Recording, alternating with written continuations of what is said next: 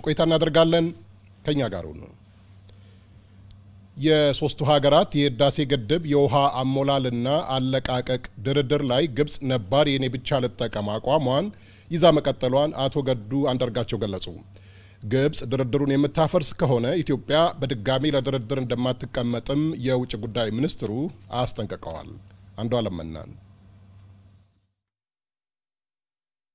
በአሜሪካ ዋሽንግተን ዲሲ ድርድር በኋላ ተቋርጦ የነበረው የታላቁ የኢትዮጵያ ህዳሴ ግድብ የውሃ ሞላልና አለቃቀቅ ድርድር በድጋሚ ተጀምሯል። ውይይቱ የግብፅና የኢትዮጵያ ጠቅላይ ሚኒስትሮች በተናጥላዊ ውይይት ካደረጉ በኋላ የተጀመረ ሲሆን ሱዳን ሀገራቱ ወደ ድርድር እንዲመጡ ላደረገችው አዎንታዊ አስተዋጽኦ በኢትዮጵያ በኩል ምስጋና ተችሯታል። ለዘጠኝ ዓመታት የቀጠለው ይህ ድርድር ለአባይ ውሃ ጠብታ የማታበረክተው ግብፅ የራስ ወዳድነት አካሄድ ድርድሩ ያለ መቋጫ እንዲቀጥል ማድረጉን የኢፌዴሪ የውጭ ጉዳይ ሚኒስትሩ አቶ ገዱ አንዳርጋቸው በሰጡት መግለጫ አብራርተዋል። ተሳክቶላቸው ብድር እንዳናገኝ አስከልክለውም በዓለም አቀፍ ድርጅቶች በተለያዩ አበዳሪ አካላት ነገር ግን በልህ የኢትዮጵያ ሕዝብና የኢትዮጵያ መንግስት በራሳቸው ገንዘብ እየገነቡት ባለው ግድብ ላይ አሁንም ውሃውን ለመቆጣጠር የሚያስችላቸውን ሀሳብ በማቅረብ በፍትሐዊ ተጠቃሚነት ላይ ጸር ሆነው የቆሙበት ሁኔታ ነው ያለው። ሙሉ በሙሉ እነሱ የፈለጉትን እንድንሰጣቸው ይጠይቃሉ። የሚፈልጉትን በሙሉ ካላገኙ አንስማማ የሚሉ ነው። ካልተስማማን ደግሞ ውሃ አትሞሉ የሚሉ ነው።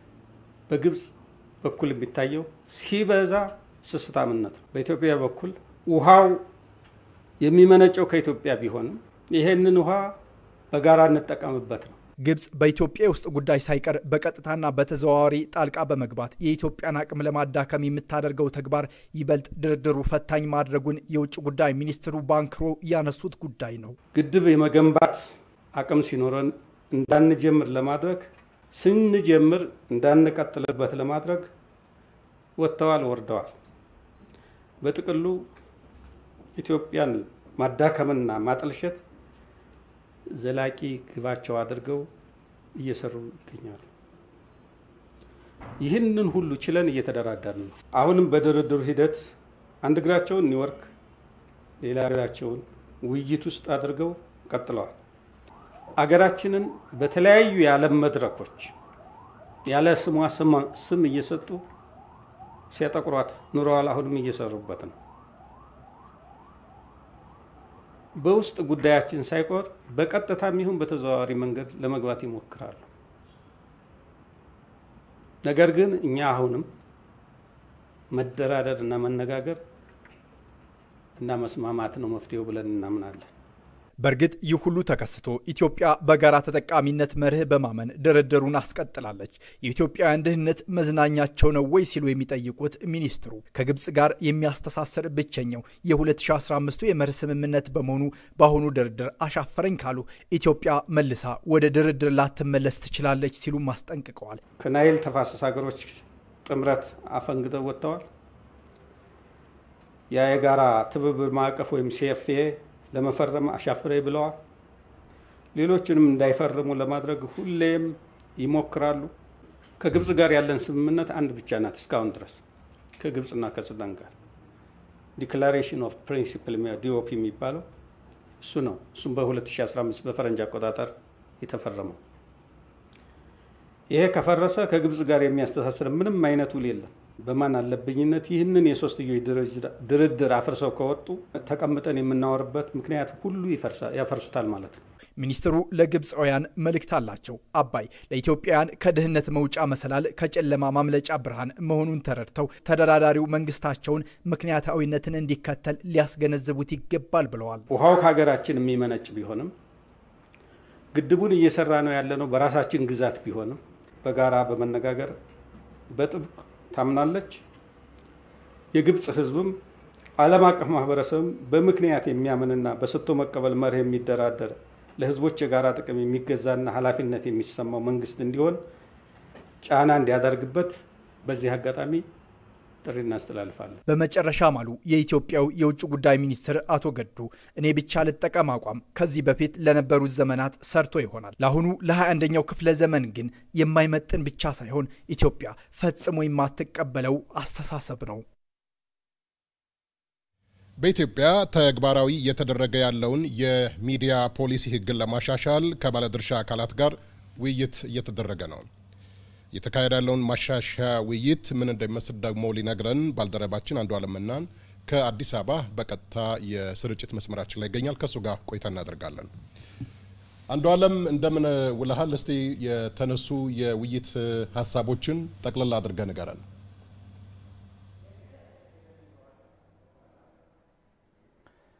እንደምን ውለሃል ተሾመ። እንግዲህ የኢትዮጵያ የመገናኛ ብዙኃን ፖሊሲ ላይ ነው በዛሬው ዕለት ውይይት እየተደረገ የሚገኘው።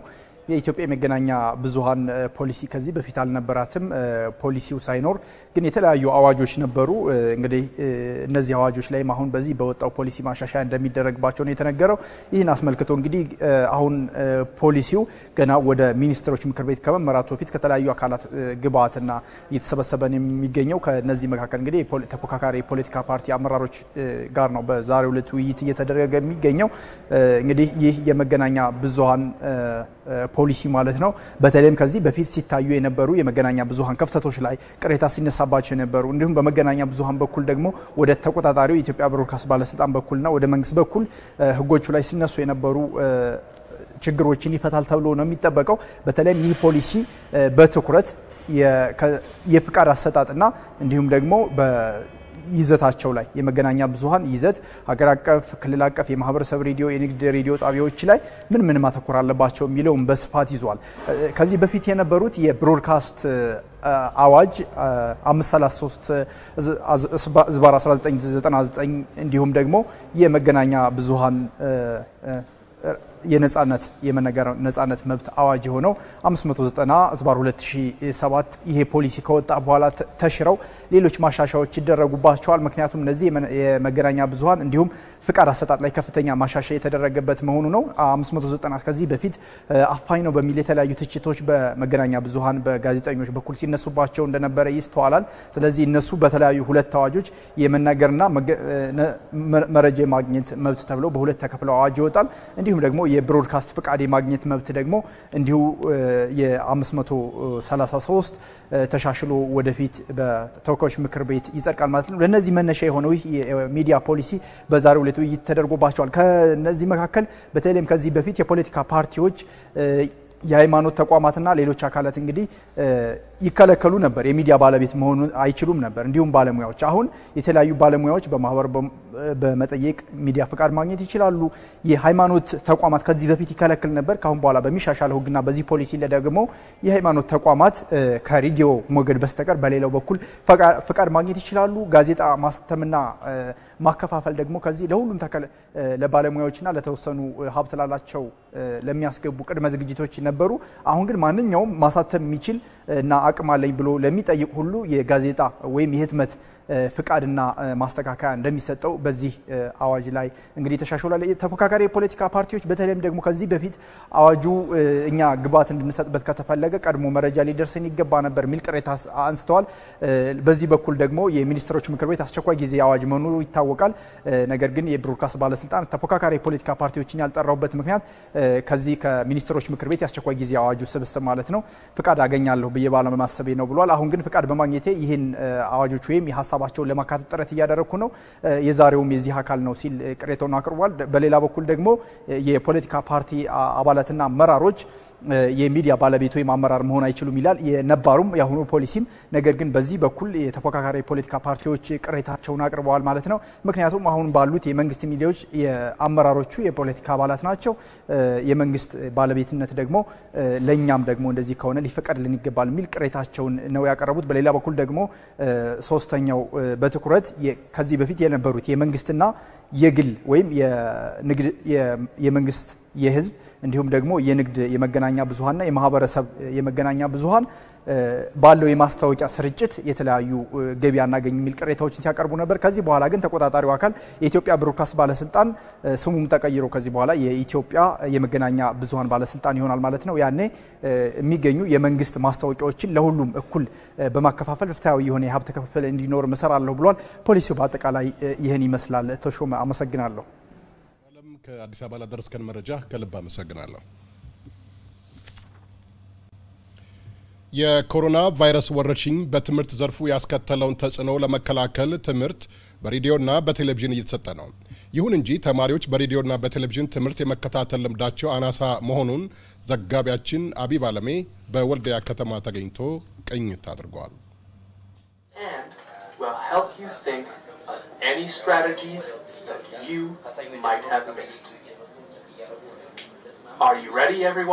በኢትዮጵያ የከፋ ስጋት የደቀነው የኮሮና ቫይረስ ብዙ ከቴክኖሎጂ ጋር ያልተዋወቀውን የትምህርት ስርዓት ካቋረጠው ወራት ተቆጥረዋል። በወልዲያ ከተማ ተማሪዎቹ በቤታቸው ሲውሉ ትምህርት በሬዲዮ ወይም በቴሌቪዥን ይከታተላሉ ወይስ ምን እያደረጉ ነው በሚል ምልከታ አድርገናል።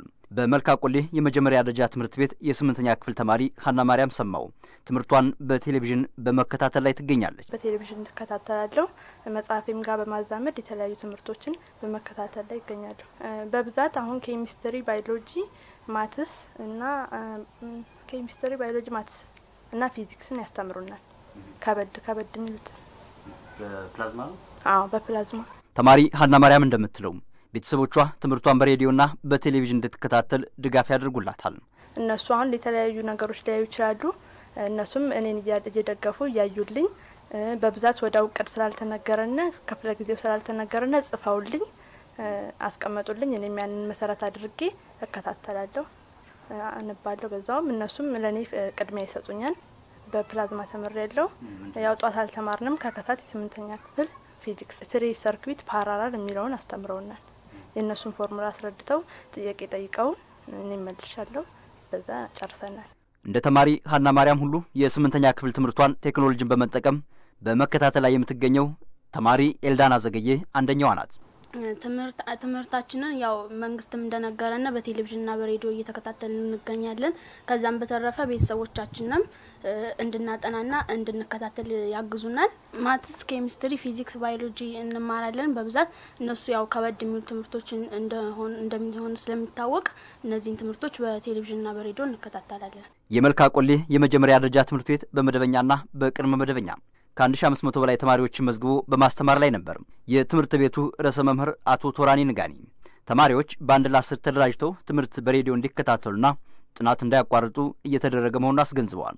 አደራጅተን ምን ላይ ናቸው ያነባሉ ወይ እንዴት ነው ብለን እየጠየቅን ከእንትናቸው ከንባባቸው እንዳይዘነጉ እያደረግን ነው። በቂ ባይሆንም ወልዲያ ከተማ የሚገኙ የግልና የመንግስት ትምህርት ቤቶች ከመጋቢት ሰባት ጀምሮ ተዘግተዋል። ተማሪዎች ውሏቸው በቤት ሆኗል። አቶ ሞላ ደረበ የወልዲያ ከተማ አስተዳደር ትምህርት ጽህፈት ቤት የስርዓተ ትምህርት ዝግጅትና ትግበራ ቡድን መሪ ናቸው። እርሳቸው እንደሚሉት ትምህርት በሬዲዮ ወይም በቴሌቪዥን የሚከታተሉ ተማሪዎች ቁጥር አናሳ ነው። ትምህርት በሬዲዮ ያው አሁን እኛ ጋር ባለን መረጃ መሰረት አንደኛ ደረጃ ላይ ያሉን ተማሪዎች ወደ 9136 ተማሪዎች ናቸው ያሉን አንደኛ ደረጃ ላይ። ይህንን እየተከታተሉ ነው ተብሎ መረጃ ለኛ የደረሰን ከእንትና 2336 አይበልጡም። እነዛ አካባቢ ነው ያለው። ያ ማለት ሁሉም ተማሪዎች የዚህ ተጠቃሚ ናቸው ማለት አይቻልም ማለት ነው በወሳኝነት እንደገና ሁለተኛ አድሬስ ለማድረግ በጣም ከባድ ነው። አሁን እየተጠቀሙ ነው አይደለም የሚለውን ነገር ማለት ነው። እኛ ጋር በተገኘው አጋጣሚ መሰረት የማስተዋወቁን ስራ ነው የምንሰራው። ይህ በመሆኑ ምክንያትም ለተማሪዎች አጋዥ የትምህርት ሰነዶች እየተዘጋጁ እየቀረቡላቸው መሆኑንም አቶ ሞላ ገልጸዋል። ትምህርት በቴሌቪዥን መከታተል ለሚችሉ ደግሞ የተቀረጸውን ትምህርት በፍላሽ የመጫን ተግባራት መከናወናቸውንም አስገንዝበዋል። የባህር ዳር ዩኒቨርሲቲ የኮሮና ቫይረስ ወረርሽኝን መከላከል የሚያስችሉ 14 የቴክኖሎጂ ውጤቶችን ይፋ አደረገ። እነዚህን የቴክኖሎጂ ውጤቶች ወደ ምርት ለማስገባት በትኩረት እንደሚሰራም ዩኒቨርሲቲው አስታውቀዋል። አሻግሬ መንገሻ የባህር ዳር ዩኒቨርሲቲ የቴክኖሎጂ ኢንስቲትዩት የኮሮና ቫይረስ ወረርሽኝን ለመከላከል የተለያዩ ተግባራትን በማከናወን ላይ ይገኛል። ከዚህ ቀደም የአፍና አፍንጫ ማስክን በማምረት እንዲሁም ደግሞ የጤና ባለሙያዎች የሚጠቀሙት አልባሳትንና ሳኒታይዘሮችን በማምረት ለሕብረተሰቡ ሲያቀርብ ቆይቷል። አሁን ደግሞ በዚህ በቴክኖሎጂ ኢንስቲትዩት የተከናወኑ የፈጠራ ስራዎችን እዚህ በባህር ዳር ዩኒቨርሲቲ የምልከታ ወይም የአውደ ርዕይ እየተካሄደ ነው የሚገኘው። አሁን በተገኘንበት የባህር ዳር ዩኒቨርሲቲ የቴክኖሎጂ ኢንስቲትዩት የኮሮና ቫይረስ ወረርሽኝ ለመከላከል የሚያስችሉ 14 የፈጠራ ስራዎችን ለእይታ አብቅቷል። በባህር ዳር ዩኒቨርሲቲ በቴክኖሎጂ ኢንስቲትዩት ከተሰሩት የቴክኖሎጂ ውጤቶች መካከል ሶስቱ የሶፍትዌር ፈጠራዎች ሲሆኑ ሌሎቹ ደግሞ የልብ ምትና የሙቀት መለኪያ መሳሪያ፣ አውቶማቲክ የንጽህና መጠበቂያ፣ mechanical ventilator እና ሌሎችም ይገኙበታል። የጤና ባለሙያዎቹ እነዚህን ሰዎች treat ሲያደርጉ ሲንከባከቡ ከዋሉ በኋላ ሲወጡ በዚህ sodium hypochlorite የሚባል ኬሚካል አለ። እሱ ምንድነው ቫይረሶችን፣ ጀርሞችን የማጥፋት nature አለው። ስለዚህ ልብሳቸው ላይ አጥፍተው ይወጣሉ ማለት ነው። ልብሳቸውን ፓምፕ ያደርጋል። ስለዚህ አሁን ይቺ የምታያት በ bell switch ነው የምትሰራው። ስለዚህ ሲሰራ ቆይቶ ሲወጣ ሲጨርስ ልብሱን ከማውለቁ በፊት ይችናን ይጫናል ማለት ነው። ይችን push button ኗን በእግሩ ማለት ነው አይደል? ሲጫነው አየው፣ ይሄ ሲጫነው ሙሉ ይገባል። አየው፣ ይሄ ከበር ነው። አይ በ vapor አይነት መልክ ነው spray ነው የሚያደርገው እንጂ ሻወር አይደለም። አሁን droplet አለው እሱን መቀነስ ይቻላል። ግን ለማሳየት አሁን አየው በጋዝ መልክ ነው ሙሉ ያገኘዋል። ያኛው ዝግ ነው። ሲጨርስ ይወጣል በዛ ማለት ነው። አዎ በዛ ይወጣል፣ በዛ ይወጣል ማለት ነው። አይመጣም ወደዚህ። ስለዚህ ሲለቀው ያቆማል ማለት ነው። ይሄ በጣም አሁን ባለው ሁኔታ ሊፈታልን የሚችልና በቀላሉ የትም ቦታ ልንሰራው የምንችል ነው። የልብ ምትና የኦክሲጅን መጠን መለኪያ መሳሪያ ነው። ይሄ ከ contact ነፃ የሆነ የሙቀት መለኪያ ነው። ይሄኛው ደግሞ የአንድን ህመምተኛ ከርቀት ሆኖ ሐኪሙ ሊሆን ይችላል፣ ቤተሰብ ሊሆን ይችላል። የህመሙ ሁኔታ status ኡን የሚቆጣጠርበት መንገድ ነው። የ sensor ሳሙና dispense ያደርግልናል። ከዚህ ቀጥለን normal መታጠባችን እንዳለ process ኡ ጋር እዚህ እንታጠባለን። ይህም ከእጅ ንክኪ ሙሉ በሙሉ ነፃ ነው። በባህር ዳር ዩኒቨርሲቲ የሕክምናና ጤና ሳይንስ ኮሌጅ ዲን ፕሮፌሰር የሽጌታ ገላው በቴክኖሎጂ ፈጠራ ስራው የተሳተፉ መምህራንና ተማሪዎችን በማመስገን እነዚህ የቴክኖሎጂ ውጤቶችን በሆስፒታሎች ጥቅም ላይ ለመዋልም እንሰራለን ብለዋል። አቅሙ ነበረን ማለት ነው። ስላልተፈተን አልሰራንም ነበር። አሁን ፈተናው ስለነበረ እየሰራን ነው። ከዚህ በተሻለ ሁሉንም ማዘምነን አጠቃላይ ለሆስፒታል የሚያስፈልጉ ግብዓቶችን ለእኛም ይሁን ለአካባቢው ለክልሉ የሚሆን ግብዓቶችን ከፍ አድርገን መስራት የሚያስችል አቅም እንዳለን አስመስክሯል። እንግዲህ ይህን የጀመረውን ጅምር በጣም አጠናክሮ ለክልሉም ለሀገሪቷም በሚሆን ደረጃ ዩኒቨርሲቲውንም በዚህ በሀገር አቀፍም በዓለም አቀፍም እንዲሁም ለጎረቤት ሀገራትም በሚተርፍ ደረጃ አጠናክሮ ሰርቶ ቴክኖሎጂውንም ኢንስቲትዩቱንም ባህር ዳር ዩኒቨርሲቲንም ያስተዋውቃል ብዬ ተስፋ አደርጋለሁ። በዩኒቨርሲቲው ሕይወትን መታደግ የሚቻል ውጤት ማምረት እንደሚቻል የተናገሩት የዩኒቨርሲቲው ፕሬዚዳንት ዶክተር ፍሬው ተገኘ የተጀመሩ የቴክኖሎጂ ውጤቶችን ወደ ምርት ለማስገባት ከክልልና ከፌዴራል መንግስታት ጋር በመሆን ጥረት ይደረጋል ነው ያሉት። አሁን ላይ ጦርነት ላይ ነው ያለ ነው። ስለዚህ ቅድሚያ የምንሰጠው የጀመርናቸውን እነዚህን ስራዎች አጠንክረን ወደ ማምረት ማሸጋገር። ለምን እነዚህ ስራዎች በቀጥታ ህይወት ከማዳን ጋር የተገናኙ ስለሆኑ ምንም ስህተት ሊኖር አይገባም። በእኛ ስህተት ምክንያት የሰው ህይወት ሊጎዳ አያስፈልግም። ለማዳን ስለሆነ እየሄድን ያለ ነው። እነዚህ መሳሪያዎች ከዚያ ጋር የተገናኙ ስለሆኑ ከፍተኛ ጥንቃቄ የሚፈልጉ ስለሆኑ ያንን አሟልተን ወደ ማምረት የምንገባበት ደረጃ ላይ ደርሰናል። የክልልም የፌዴራልም መንግስት ጋር ከሚመለከታቸው ጋር እየተገናኘን እነዚህን ወደ ምርት የማስገባት ስራ እንሰራለን። ተገቢው የኮሮና ቫይረስ ምርመራ እየተደረገልን ባለመሆኑ ችግሮች እየደረሱብን ነው ሲሉ የድንበር ተሻጋሪ አሽከርካሪዎች ተናገሩ። የአማራ ክልል ሕብረተሰብ ጤና ኢንስቲትዩት በበኩሉ አሽከርካሪዎች በሚነሱባቸውና በሚደርሱባቸው አካባቢዎች ላይ ተገቢው ምርመራ እንዲደረግላቸው እየተሰራ ነው ብለዋል። የህዝብ አለም ጌታነህ ተጨማሪ አላት። ከጎረቤት ሀገራት ልዩ ልዩ እቃዎችን ጭነው የሚመላለሱ የከባድ ጭነት መኪና አሽከርካሪዎች ለኮሮና ቫይረስ ተጋላጭነታቸው ሰፊ ነው። አሽከርካሪዎቹም ከራሳቸው ተጋላጭነት ባሻገር ተገቢውን ምርመራ ካላደረጉ ቤተሰቦቻቸውን ከፍ ሲልም በርካታ የህብረተሰብ ክፍሎችን ሊበክሉ ይችላሉ። ከጅቡቲና ከሌሎች ጎረቤት ሀገራት የመጡ አሽከርካሪዎችም ወደ ክልሉ ስንገባ ተገቢው ምርመራ እየተካሄደልን ባለመሆኑ ስጋት ላይ ነን ሲሉ ለአማራ ቴሌቪዥን አስተያየታቸውን ሰጥተዋል። የሙቀት መመርመሪያ ብቻ ነው እየተመረመርን የምንሻገር። እንደ ፌዴራል መንግስት ድንበር ስንሻገር መመርመሪያው የለም። እንደ ክልል ደግሞ እኛ አማራ ክልል ላይ ስንገባ ከድንበር ተሻግረን ስንመጣ ሙቀት ብቻ ነው የምንለካ።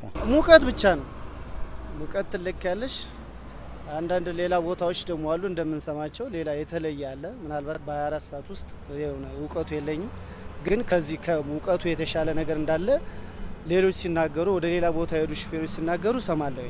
ህብረተሰቡ ለወረርሽኙ ካለው የግንዛቤ እጥረት አኳያና እነርሱም ካለባቸው ስጋት አንጻር በርካታ ችግሮች እየደረሱባቸው መሆኑንም አሽከርካሪዎቹ ገልጸዋል። እየደረሰብን ያለ ነገር እኔ አሁን ትዳር አለኝ፣ ሚስት አለኝ፣ ልጅ አለኝ። ከአንድም ሁለት ጊዜ ባህር ዳር መጥቼ አራግፌ ሲሄድ ከሚስቴም ከልጄም ጋር ሳልገናኝ ይጃለው። ያ ደግሞ ትልቅ የሞራል ጫና ነው። የመንግስት ፖሊሶች ምናምን ራሱ ጭፍራ የሚባል ሀገር አለ የተለያየ የተለያየ ቦታ ማለት ነው። ወልዲያም አለ ውጡ እስከመባል ድረስ ማለት ነው። ከከተማ ውጡ ማታ አንቺ አንድ ሰዓት አስራ ሁለት ሰዓት ስትቆሚ ከዛ በኋላ ውጣ በጨለማ ማለት ነው። ይሄ ሁላ አለ። በቤተሰብ ላይ ተጽዕኖ በጣም ከባድ ነው። በአራት ቁጥር መኪና ሞንታርቦ አድርጎ ላይ ላይ ከዚህ ቦታ ያራገፈ የቦቲ መኪና ነዳጅ አራግፎ ሲመጣ ኮሮና ስለተገኘበት ህብረተሰባችን ተጠንቀቁ። አንድ ሰዓት ተኩል አካባቢ ይሆናል ከምሽቱ። ካሁን በኋላ የባለ ንብረቶች የከባድ መኪና አሽከርካሪዎችና ባለ ንብረቶች ካሁን ሰዓት ጀምሮ ከተማችሁን ልቁ፣ ከተማውን ለቃችሁ ውጡ ነው የተባለ። መንግስት በድንበር ተሻጋሪ አሽከርካሪዎች ላይ የሚያደርገውን ምርመራ ቢያጠናክር ስርጭቱ በከፊል ሊገታ እንደሚችልም ጠቁመዋል። ምርመራውን እዚህ ማጠናከር እንደ ሌሎች ክልሎች ማለት ነው። ምርመራውን አጠናክሮ ሌላ ደግሞ እንደገና ሹፌሮች ችግር እንዳይደርስባቸው ማለት ነው ከመሸበት ቦታ ስ እንዲያሩ ያን ያን ነገር ማለት ነው። የመንግስት አካል አሁን ፖሊስም ነው የምነግርህ ውጣ የሚለው አሁን ፖሊስ ጭምር ከከተማ ውጣ የሚለውን ጭፈራ ላይ የደረስብን እንደዛ እንደዛ አይነት ነገር ቢስተካከል የክልሉ መንግስትማ ምንድን ነው በተለይ እኛ ላይ በጣም ኃይለኛ እንትን ማድረግ አለበት። እኔ ልንገርሽ እኔ ንጹህ ነኝ እያልኩ አይደለም። ምን ይዤ እንደምመጣ እኔም ራሴ ያላቀው ይዤ መጥቼ ግን ከጅቡቲ ተነስቼ ባህር ዳር ስመጣ የት ቦታ እንደምቆም ከስንት ሰው ከስንት ሰው ጋር እንደምገናኝ አውቀዋለሁ።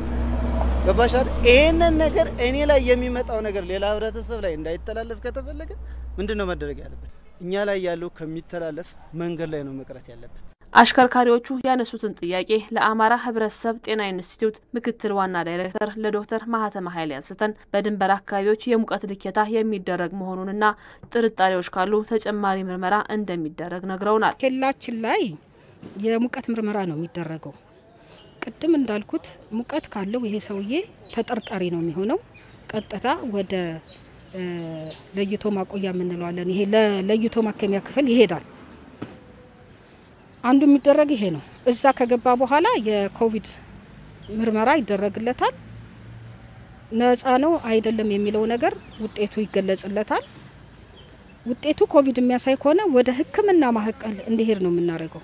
አሽከርካሪዎቹ ከሚነሱባቸው አካባቢዎች ከሙቀት ልኬታ በተጨማሪ ሌሎች ምርመራዎች መደረግ እንደሚገባቸውም ዳይሬክተሩ አሳስበዋል። የሙቀት ልየታው ሲሰራ ይህን ካላሳዩ አንዱ ሊሰራ የሚታሰበው ነገር እነዚህ ሰዎች እዛ መነሻ ከተማቸው ላይ ወይም ሲያልፉ በነበረው ኬላ ላይ ምርመራ ካልተደረገላቸው አሁንም የኮቪድ ምርመራ እንዲደረግላቸው ያስፈልጋል። ምክንያቱም ውጤት positive እንኳ ከሆኑ መንገዳቸውን ይቀጥላሉ ተመርምረው አስፈላጊውን መረጃ ተሰጥተው። ነገር ግን ህመሙ ማነው በሽታው ቫይረሱ ከተገኘባቸው ብዙ ርቀት እንዲጓዙ ሶስት አራት ቀን እንዲጓዙ እድል ሊሰጥ ስለማይገባ ቶሎ ወደ ሕክምና ጣቢያ እንዲገቡ ለማድረግ ምርመራው መካሄድ አለበት። የኮሮና ወረርሽኝን ለመከላከል ማህበረሰቡ ተገቢውን ጥንቃቄ እያደረገ አለመሆኑን በምስራቅ ጎጃም ዞን አስተያየታቸውን የሰጡ የስናን ወረዳ ነዋሪዎች ተናገሩ። በወረዳው የተቋቋመው የኮሮና መከላከል ግብረ ኃይል በበኩሉ ግንዛቤ ከመፍጠር ባለፈ የወጡ ክልከላዎችን ተፈጻሚ ለማድረግ እሰራለሁ ብለዋል። የኔና አለሙ የኮሮና ወረርሽኝ በሀገራችን ከተከሰተ ጊዜ ጀምሮ በየዕለቱ በቫይረሱ የሚያዙ ሰዎች ቁጥር በመጨመር ላይ ነው። በምስራቅ ጎጃም ዞን የስናን ወረዳ ነዋሪዎች ስለ ወረርሽኙ በቂ ግንዛቤ ቢፈጥርላቸውም በነዋሪዎች ዘንድ ተገቢው ጥንቃቄ እየተደረገ እንዳልሆነ፣ መዘናጋትም እንዳልተለያቸው ይገልጻሉ። እንደኛ ገበያ ላይ የሚሆን በየቢሮ የሚሆን በምናየው ልክ ሰው ተጨጭኖ ተደራርቦ ነው የሚገኘው። እኔ እውነት ለመነጋገር በዚህ ልክ ከሆነ ግን ቀጣይ የከተማችን ነዋሪ ህዝብ የወረዳችን ነዋሪ ህዝብ በሽታው በእርግጠኝነት ረመዳን እንደሚወድቅ ነው የማስበው። ባለው ነገር እንጂ ህብረተሰቡ ጥንቃቄ የለውም። እኔ በምመለከተው ማለት ነው። እኛ አካባቢ አሁን ሱቅ ላይ የራሱ ተጠጋግቶ ነው ሁሉም እየገዛ ያለው። ይሄ የግንዛቤ እጥረት ይመስለኛል። ይህን ደግሞ ሁሌም ይነገራል፣ ግን ሰው ህብረተሰቡ አይጠነቀቅም። እኛ ራሱ የተሻልን የምንሎች እየተጠነቀቅን አይደለም። ብንጠነቀቅም ከእግዚአብሔር ጋር ነው። ሁሉም በእግዚአብሔር ፍቃድ ነው የሚሆን። መጸለይ፣ እጁን መታጠብ፣ የአካል ርቀት ጠብቆ መንቀሳቀስ እንዳለበት አምናለሁ። ሰርግና ሌሎችም የህብረተሰቡ መስተጋብሮችን ለመቆጣጠር የተቋቋመው ግብረ ኃይል አስፈላጊውን ክትትል እንዲያደርግና ትምህርት እንዲሰጥበትም ነዋሪዎቹ ጠይቀዋል። ማክስ እንኳ ያደረገ ሰው እናንተ ተመጣችሁም ማየት ስለሚቻል ያደረገ የለም። እንደ ቀልድ የሚያየው ሁኔታ ስላለ እሱን ዞኑም ቢሆን ከወረዳው ጋር በመነጋገር የራሱን የቻለ በቢሮም ይሁን ገበያ ላይ ማክስ ሳያደርግ የተገኘ ሰው በህግ አግባብ እንዲጠየቅ ቢደረግ የተሻለ ነው። በተለያዩ ማህበራዊ ግንኙነቶች የሚፈጠር መቀራረብ ለወረርሽኙ እንደሚያጋልጥ በጤና ባለሙያዎች ቢነገርም ህብረተሰቡ ተግባራዊ እያደረገ አለመሆኑን የወረዳው ዋና አስተዳዳሪ አቶ ጌታሁን ፈንቴ ተናግረዋል። ራሱን ከዚህ አስከፊ ወረርሽኝ ከኮሮና ቫይረስ እንዴት መከላከል እንዳለበት ግንዛቤ ያገኝ ዘንድ ቅዳሜም ረቡዕም በገበያ ላይ ቅስቀሳ ጭምር ህብረተሰቡን address ለማድረግ ተሞክሯል። ስራ ለመስራት ተሞክሯል። በዚህ ደረጃ ህግ የተላለፉ አካላትን ጭምር ጥያቄ ወስደን እርምጃ ለመውሰድና ለማስተማርም ጥረት አድርገናል።